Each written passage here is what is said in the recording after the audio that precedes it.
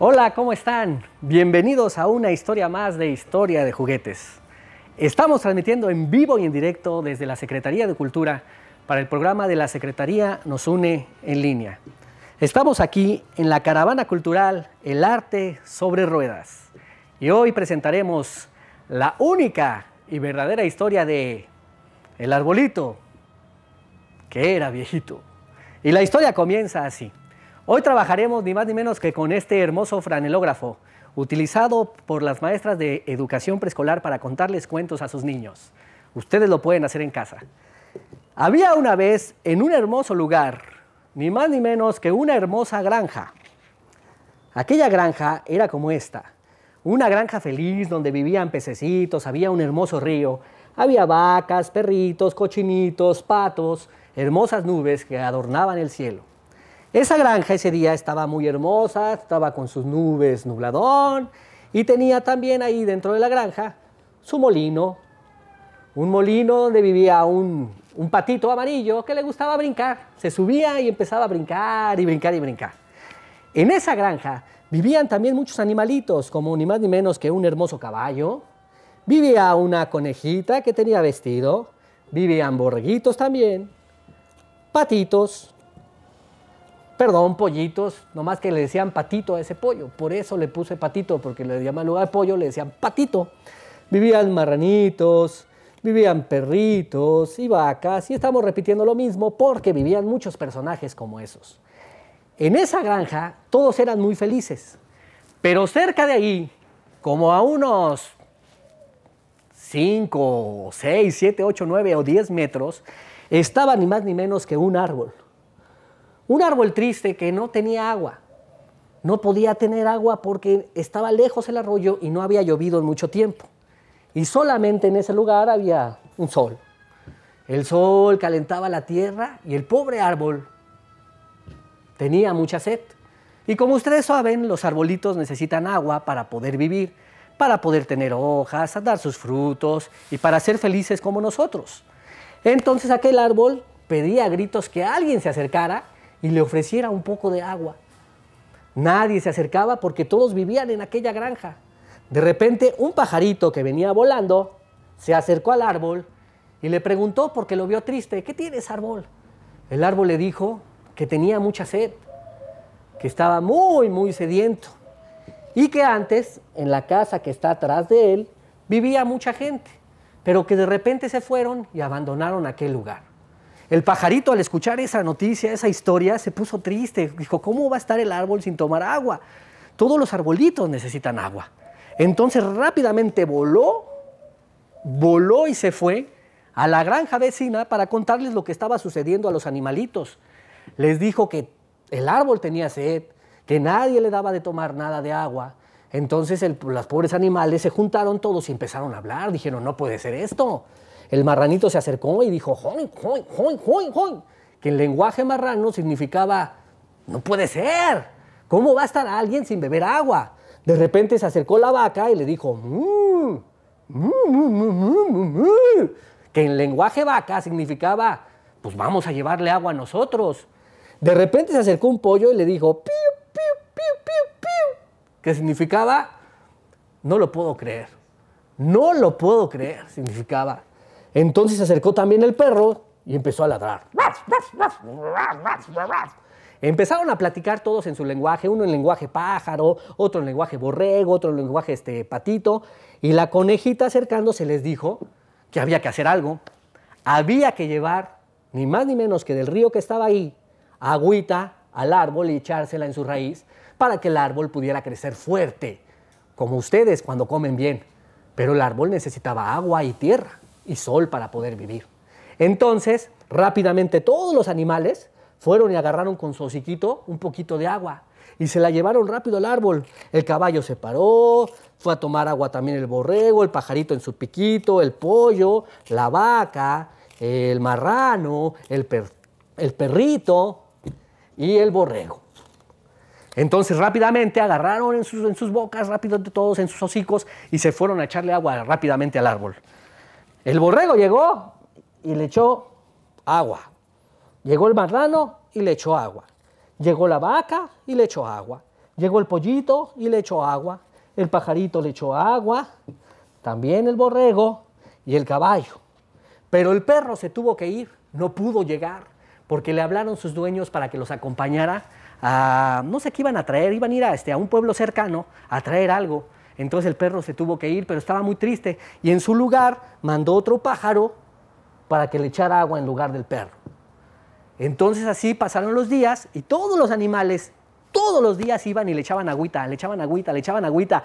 Entonces el árbol empezó de repente a ver que le empezaron a salir muchas hojas, se empezó a poner muy contento, muy baracho el árbol, platicando con los animales, todos platicaban bien felices y de repente aquel árbol se puso grande y frondoso y muy verde. Empezó a dar muchos frutos, empezó a ser feliz el árbol, le decía muchas gracias pajaritos. De repente apareció una niña y vio el árbol y dijo, órale, qué árbol tan grande y fuerte, se ve que este lugar es muy bonito para poder vivir. La niña agarró y se metió entonces a vivir a ese lugar. Y ahí vivían. Entonces el árbol empezó a ser feliz, platicaba con los animales, cosas que platican los árboles y los animales. Por ejemplo, el árbol platica, oye, ¿cuántas hojas tienes? Este, ¿ha, ¿Ha habido niños buenos que vengan y te saluden? ¿No te han hecho nada los niños? ¿Se portan bien contigo? Cosas esas, cosas, cosas que platican los árboles. Algún día las sabremos nosotros, hombre. Entonces el árbol seguía feliz hasta que un día los animales decidieron organizar una fiesta debajo del árbol, una fiesta para comerse sus frutos, quitarle sus hojas, hacer una fiesta ahí. Entonces el árbol se enojó y les dijo, ¿qué les pasa? ¿Qué les pasa? ¿Cómo que quieren hacer una fiesta? ¿No ven que si hacen una fiesta me van a tirar mis frutos? ¿Me van a tirar mis ramas? ¿Me van a tirar mis hojitas? No, no, no, no, no, no, aléjense, aléjense todos. Empezó así el árbol muy sangrón, ¿eh? No, ¿saben qué? Aléjense, a ver, tú vete. Entonces el marranito, pues se fue triste. La vaca se fue triste. El marranito solo le hizo. La vaca llorando. El borrego el otro borrego triste, el pollito y los pajaritos se fueron, se fueron, el caballo se fue y entonces el árbol se quedó solo, pero contento, lleno de hojas, feliz, feliz. Mas de repente, ¿qué creen? Por haber sido tan envidioso y no querer compartir sus frutos y compartir su felicidad con los demás, el árbol se empezó a llenar de mucho fruto y mucha hoja. Entonces, lógicamente, cuando esto pasa, si estás así, te empiezas a ir de lado, de lado, de tanto peso que tienes en tus ramas. El árbol se empezó a ir de lado. Y entonces empezó a ir de lado, de lado, hasta quedar así. Rápidamente, cuando la mujer que vivía ahí vio al árbol, pensó, se va a caer. Un día voy a pasar y se va a caer sobre mí, me va a aplastar, los frutos me van a caer encima, me puede pasar algo a mi piernita, a mi boca. Y en esos tiempos todavía no había la enfermedad que hay ahorita.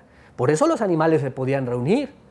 Pero ahorita, si en esa granja pasara lo mismo en este momento con lo del coronavirus, los animales no hubieran podido salir de la granja, hubieran tenido que estar encerraditos en su lugar porque se podrían enfermar. Recuerden que ustedes ahorita deben de estar en casa. No pueden no pueden salir a la calle ni estar jugando en el, patio. Bueno, en el patio sí, pero en los jardines de enfrente y eso no, porque hay gente que estornuda, embarra virus y ustedes lo agarran con sus manos, se van a su casa y lo llevan ahí. Y tienen que cuidar a su familia. Por eso deben de pensar, recuerden, cuando ustedes piensen que su vida es de ustedes, no es de ustedes. Su vida le pertenece a toda la gente que les rodea, porque si a ustedes les pasa algo, la gente que los rodea tendrá que irlo a saber. Entonces el arbolito se empezó a caer y la niña dijo, ¿saben qué? Hay que cortarlo. Hay que cortarlo porque se puede caer. Y si se cae me aplasta, miren, fíjense, aquí está la niña, puede venir caminando y si el árbol se cae, la aplasta. Entonces la niña rápidamente se movió y dijo, hay que cortarlo. El árbol al escuchar esto se puso muy triste, porque imagínense que te digan que hay que cortarte. Entonces el arbolito se puso triste, habría que llamar a un leñador para que lo tirara. El árbol empezó a llorar. lloraba el árbol y lloraba, le salían sus lágrimas, como cuando uno se pone triste. El árbol lloraba y lloraba hasta que de repente se acercó el mismo pájaro que lo había visto hace mucho tiempo y le preguntó, ¿qué tienes árbol? ¿Por qué lloras? El árbol solo miraba con sus ojitos tristes, tristes, tristes. y le decía que lo iban a cortar por culpa de todos esos frutos que no quiso que le quitaran. El árbol le contó esto y rápidamente el pajarito fue y le contó a todos los animales de la granja esto que había sucedido. Rápidamente todos vinieron con generosidad a quitarle los frutos. Empezaron a quitarlo, hicieron una fiesta ahí, pusieron música, canciones, punch, punch, punch, punch, todos bailaban en lo que se comían los ricos manzanos cantaban aquella de punches, punches, punches, punches, cantaban un manzano, entonces las ovejas decían, los pollitos decían, pío, se comían el este, los barranitos, entonces así la fiesta, la fiesta, ¿qué creen? Hasta que de repente el árbol otra vez se quedó peloncito. Entonces todos los animales cansados del fiestón que habían tenido en la noche se fueron a dormir a su casa. Todos se fueron, se despidieron, dijeron, ay, nos vemos, luego nos vemos, adiós, los pajaritos y todos se fueron a dormir. El arbolito se quedó solo, pero de repente llegó la niña queriendo, pues, cortar el árbol. Pero cuando lo vio se sorprendió, dijo, órale, órale, dijo el árbol, no puede ser, no tiene ya nada de frutos, está derechito el árbol, ¿por qué lo voy a cortar si el árbol merece vivir? Entonces la niña decidió no cortarlo. Así la niña se fue a su casa, el árbol quedó contento y se volvió a llenar de frutos. Pero ahora, cada vez que llegaban los animalitos, hacían fiesta en sus ramas y le quitaban los frutos y se los comían. Y así se hicieron todos muy, muy amigos y se juntaban y se reunían y todos eran felices hasta que en ese lugar se formó una hermosa granja también, al igual que en la granja de al lado. Bueno, esta historia ha sido una historia de generosidad y de buenos deseos para el árbol. Vamos a mover para acá esto y ahora les voy a explicar. Esto que vemos aquí se llama un franelógrafo. ¿Por qué tiene ese nombre? No lo sé. Así se llama. Las maestras de preescolar lo hacen en sus escuelas o en las escuelas de preescolar para poder crearlo y poder contarles cuentos como ustedes, ustedes los niños. Ustedes en sus casas pueden mandar a hacer su franelógrafo que está hecho de madera, vean, y adentro le ponen una tela que se llama dubetina. Se la pegan y ya pueden hacer así sus cuentos. Ustedes en casa pueden trabajar lo siguiente. Tienen aquí ni más ni menos que primero su título. Tienen el título de un cuento. Ustedes lo escriben, hacen su historia y empiezan a dibujar. Dibujan vacas, dibujan un hermoso lugar y dibujan y dibujan y dibujan más y más y más. Y aquí tienen su historia hecha por ustedes. Después de haber dibujado, van a agarrar ni más ni menos que sus colores y van a pintar. Pueden usar, por ejemplo, este tipo de colores. Pueden usar este tipo de gises, pueden usar estos tipos de pincelines y todo ese tipo de cosas. Entonces pueden pintar con esto, o pueden sacar sus gises y pintar, o pueden sacar sus colores y pintar, pintan. Pintan, pintan todos sus cuentos que hicieron en casa, ahorita que no están, que están descansando y que no pueden salir. Y entonces empiezan a recortar, sacan sus tijeras. Yo uso estas porque puedo usar este tipo de tijeras, pero ustedes necesitan unas tijeras especiales, chatitas, y empiezan a recortar sus cuentos. Y si la hoja es muy delgada, le pueden poner un poco de cartoncito, pegan su imagen, lo pegan, aquí está, lo pegan, y ya tienen su imagen pintada.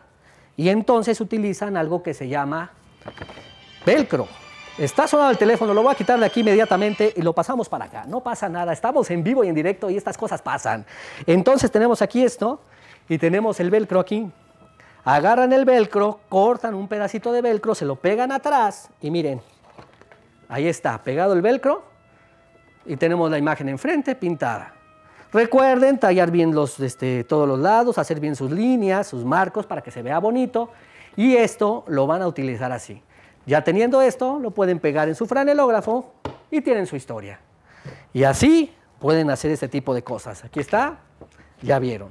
Ustedes pueden trabajar con los materiales como pintar hojas, pueden trabajar con foamy. Aquí tenemos, por ejemplo, esta conejita de acá, está hecha de foamy.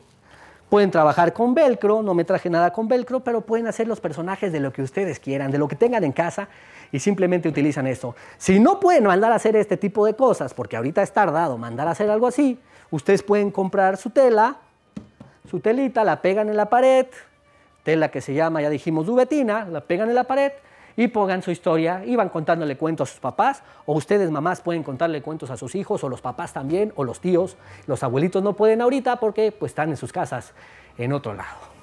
Bueno, esto ha sido una historia más de historia de juguetes.